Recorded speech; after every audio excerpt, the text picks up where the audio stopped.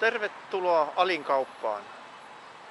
Tämä on erittäin suosittu paikka suomalaisten keskuudessa. Täällä yleensä käydään ostamassa vaatteita. Ja päätin poiketa täällä katsomassa, mitä täältä löytyy. Täällähän on normaalisti löytyy kaikki perusvaatteet, teepaidat, verkkarit. Ja naisillekin löytyy omat tuotteensa. Mennäänpäs tänne sisälle katsomaan vähän tarkemmin. Lasten vaatteitakin löytyy. Naisten mekkoja on kyllä.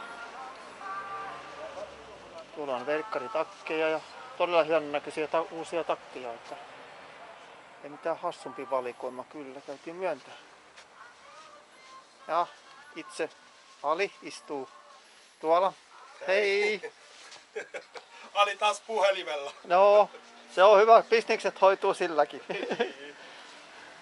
ja sitten täällä on lastenpuoli. Mutta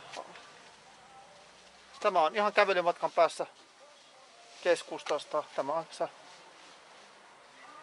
löytyy varmaan kartalla hakiessa.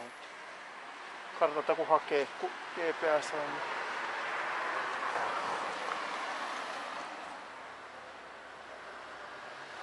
Mutta kiitoksia kun jaksoitte katsoa ja toivotan meille Alille hyvää päivää ja jatkamme taas matkaa. Kiitoksia. Hei!